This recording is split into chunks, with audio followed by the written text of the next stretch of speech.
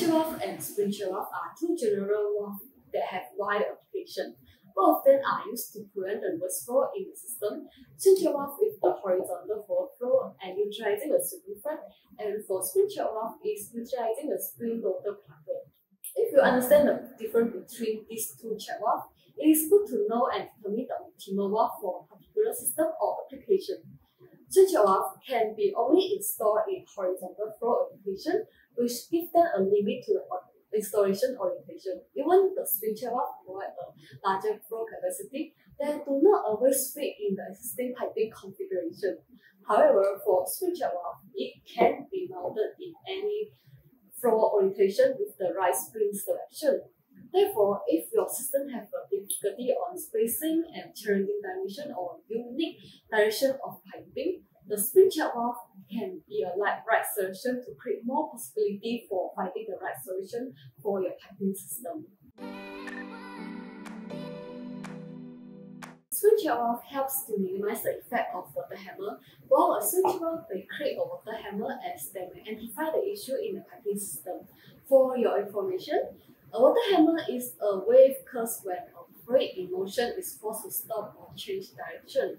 Water hammering can be happen when a valve is suddenly closed or causing the water to slam into it, or when a pump is suddenly shut down and the flow reverse direction back to the pump. Let's say the water is flowing and someone suddenly shut the valve, and this may create a pressure wave through the piping. With the swing check, the flap here will be open until the pressure return back to the switch the pressure wave caused the flapper to slam shut and caused the well between the check valve and other piping system component. By contrast, the spring check valve here too can minimize the water hammer effect as the spring here close before the pressure wave get in. The biggest advantage of switch valve is there are low cost and work within a wider reach. It usually provides a larger flow capacity, however, this valve does not support the downward vertical flow due to the gravity force.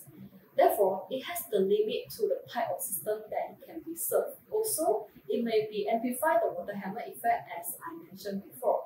For spring check Sprinkler valve can be installed vertically, so it offers more versatility than the swing check valve it also can reduce the water hammer effect. Another name for this is we call it silent check valve, where it can reduce the noise.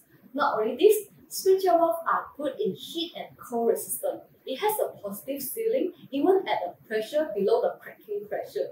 So when compared to switcher valve, the switcher valves are more expensive and they have a lower flow capacity. Until here, I think you already know that what is the difference between the spring and swing check valve.